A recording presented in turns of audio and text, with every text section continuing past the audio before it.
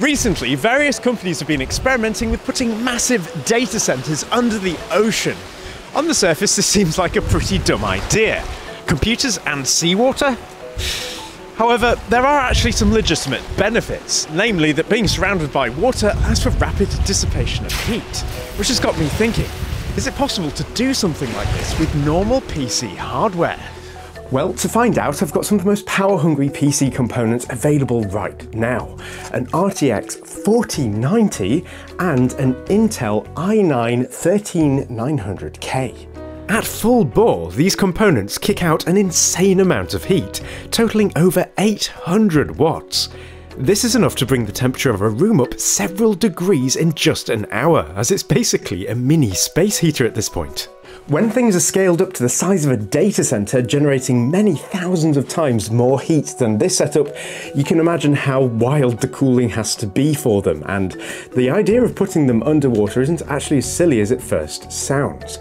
But keeping hardware dry is no easy task, as I found out in my submarine project, which had leaks and buoyancy issues. The concept of encasing all the hardware inside a clear acrylic cylinder, though, is worth experimenting with, as it's a strong shape that only requires end caps to become watertight.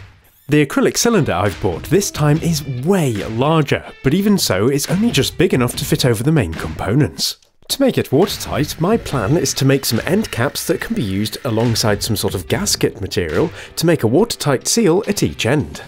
As acrylic is a poor conductor of heat though, it essentially insulates the system from any surrounding water, locking in heat.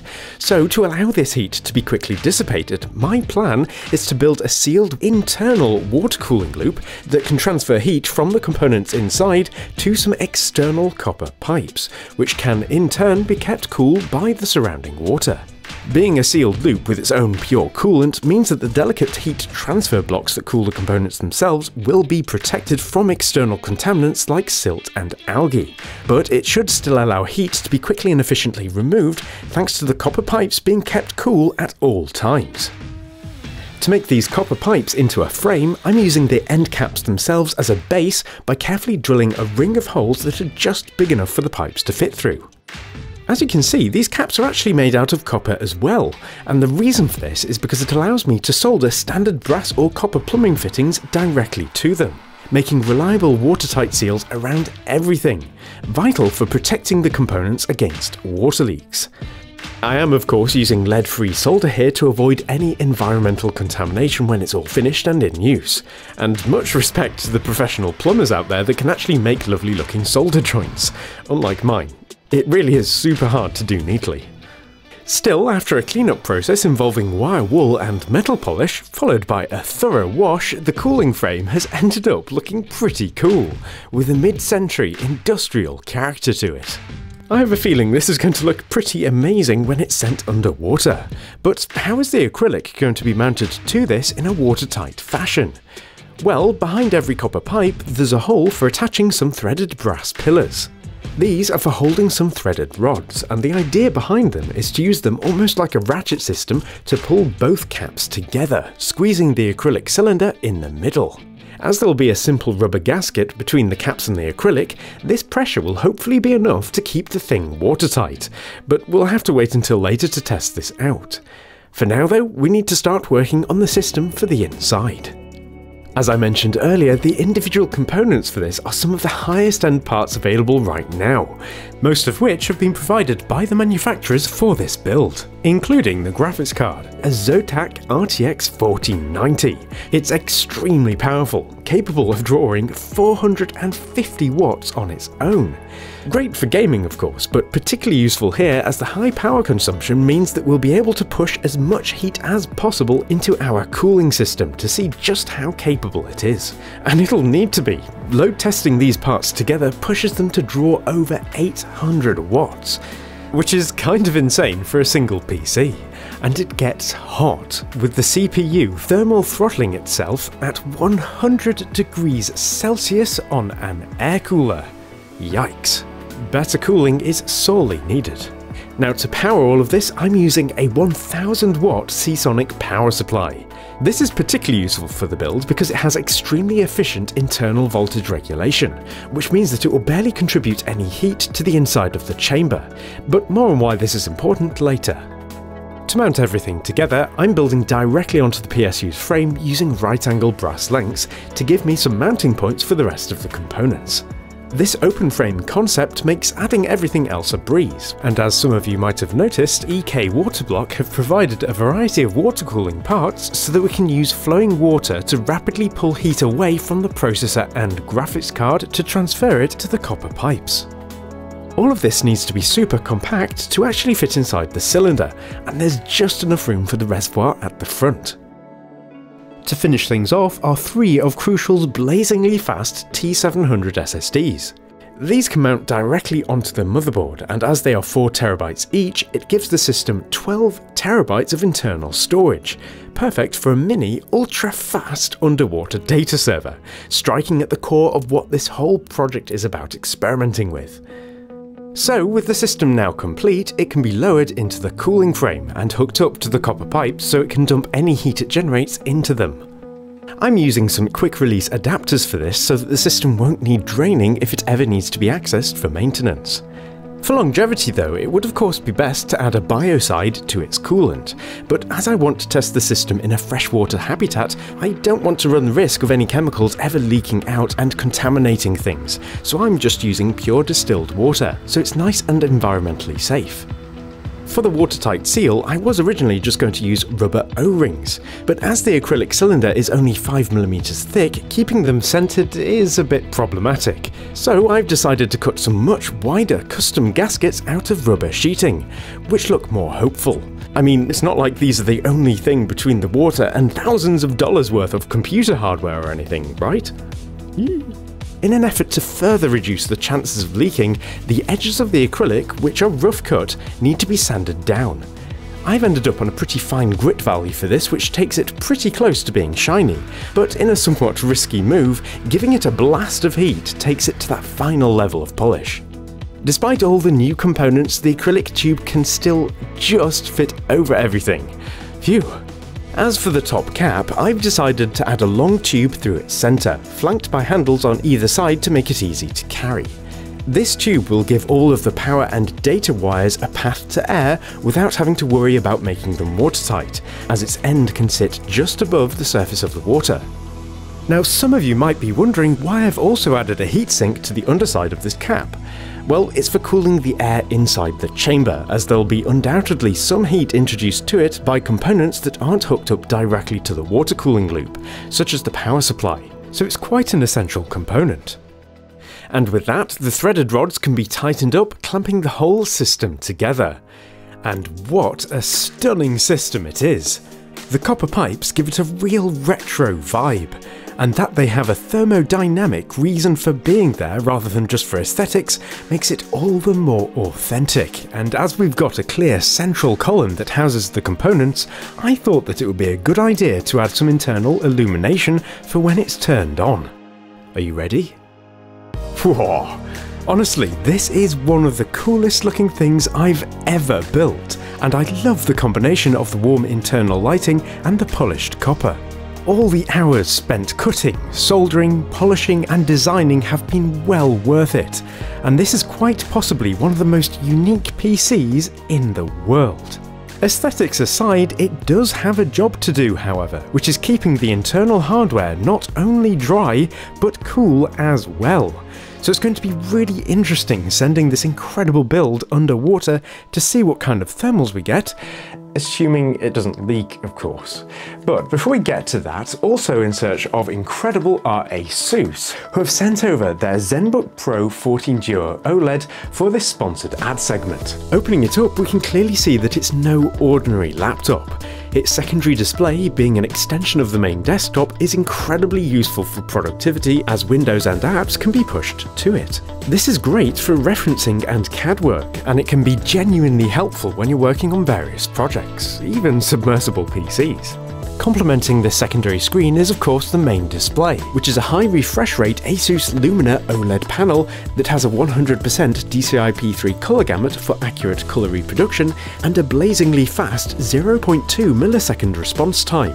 Being OLED, it of course has inky dark blacks, which makes content incredibly pleasing to the eye for both colour critical creative work and well earned movie breaks. This is the first laptop, the first laptop that I've tested that I actually like using for work, and it passing military grade durability tests such as extensive shock testing, vibration testing, and of course temperature and humidity testing ensures that it'll be a reliable workhorse in real life working conditions for years to come. A laptop that pushes the boundaries of design like this is in itself inspirational, as conceptualizing ideas is a fundamental part of building incredible things, for those who are in search of incredible. And if you yourself are in search of incredible, you can check out the Asus ZenBook Pro 14 Duo OLED by clicking the link in the description below. Now, a primary consideration when you build anything that goes underwater is, of course, its buoyancy. Now, I found out this the hard way when I built my DIY submarine project, as I made it far too buoyant and had to weigh it down a lot to get it to go underneath the surface. So, to avoid that same issue this time, let's calculate it. You see, an object's buoyancy is simply defined by whether its weight is lighter or heavier than the volume of water that it displaces. As our central cylinder displaces approximately 24.5 kilograms of water, the whole thing needs to weigh more than this in order to sink, which handily it does, by a mere 100 grams. But there's a catch. Some of this weight exists outside of the central cylinder by way of the copper pipes, which contain about 2.4 litres of water, throwing off our weight measurement. Subtracting this from our final figure indicates that we need to add a bit of extra weight to compensate, so I'm going with 2.5 kilograms of steel pellets inside bags to make it slightly negatively buoyant. So the time has come to send this under the water. Will it sink? Will it, I mean obviously it will sink, we've calculated that, but will it leak? I'm not sure. Let's find out. Rather than submerging it into the sea, which would be very risky, I'm giving it its first tests in a garden pond. Despite appearances, this small body of water is extremely deep, well over 2 metres, or 7 feet. This depth makes it ideal for testing the PC in, with the added benefit of it being somewhat of a controlled environment. As you can see, it's teeming with life, which is why it was so necessary to ensure that the PC itself would be benign to its environment and non-toxic, and it's going to be interesting to see what the fish make of it. After giving the system a final check to make sure all the bolts are tight and that there are no obvious problems, it's time for the moment of truth. In an effort to have a quick mission abort option, I thought it would be a good idea to set up a rope and pulley system so that I can quickly remove the PC from the water if I detect any water ingress. Right, so uh, we've got it all ready to go over the pond, so hopefully this goes well, and then we'll lower it in and uh, just monitor whether we have any leaks. I'm a bit nervous. Remember, there's over $5,000 worth of computer hardware inside this acrylic cylinder, and the only thing keeping it dry are two homemade rubber gaskets. No pressure then. As it's lowered into the water, my heart is pounding, but so far, so good. With it almost entirely submerged, it's time for a quick leak check, and thankfully it's bone dry. The gasket system works perfectly, and I'm starting to think that this might actually work. But there is a small problem. It's actually still positively buoyant, despite my calculations. Experimenting with some external weights reveals that it requires an extra kilogram. How did I get my calculations so wrong? Well, I forgot to take into account the fact that all of the external components, the handles, the walls of the copper pipes, and even the end caps themselves, do of course displace water as well. And although each part is individually heavier than the water that they displace, they need to be treated as part of a whole. And indeed, after including this in my sum, it now marries up to the requirement of an extra kilogram. Thankfully though, this is easily countered by adding some more steel weights, so we should be good to go. Right, so we've got it under water and everything so far is looking really promising. I'm not seeing any bubbles coming up, which is a good sign, and it is just negatively buoyant. So that's why the rope is just holding it up just so that the uh, top bit doesn't go too far under the water. Um, but you might be wondering how on earth we're going to turn this on and also how are we going to plug in things like the monitor and uh, keyboard and mouse and stuff? Well, everything is actually going to be running through this Thunderbolt cable. This is 50 meters, and the reason why it can be so long is because it's an optical one. It was uh, very expensive to get, but I thought it was worth it for this video. The other end of this Thunderbolt cable can simply be plugged into a little dock, which gives me various monitor outputs, USB ports, and audio outputs. Everything that's required to operate a PC, apart from the mains power. Okay, no explosion, so that's a good sign. So I've got the power button here. So three, two, one. Whee! Look at that!